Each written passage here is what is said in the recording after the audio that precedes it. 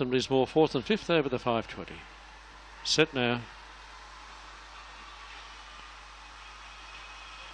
Well, Palmama Poppy's Rose begun well and so too in the centre of the track going forward with Punch Right Out but Poppy's Rose the lead Punch Right Out getting through on the inside of those. Then was Inspector Cloud very deep with Alpha Hermes back in the inside Tijuana Tempo. Going forward quickly then Inspector Cloud him the Master Well backer Little Macy Breeze and so too was all Palmama on the circle low Punch Right Out goes to a narrow lead the inside Poppy's Rose Tijuana Tempo and the widest runner was Alpha Hermes. Punch Right Out turns in front of. Poppy's Rose to the inside with Punch Right Out beat either Tijuana Tempo or Poppy's Rose. Alpha Hermes further back then was uh, Little Macy Breeze. So too Inspector Cloud. All Palmama well back with him, the master.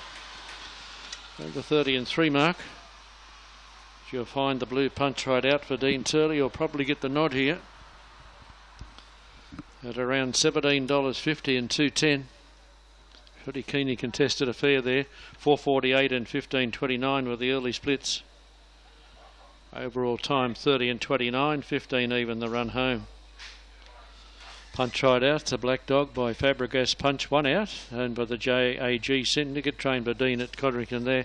Over number three, Tijuana Tempo, and the Czechs Poppy's Rose, officially fourth, number eight. Four, three, two, and eight, they finish. Four, three, two, and eight. 30 and 29 the overall.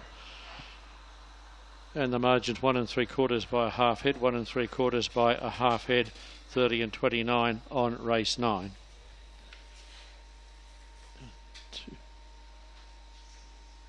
Mm-hmm.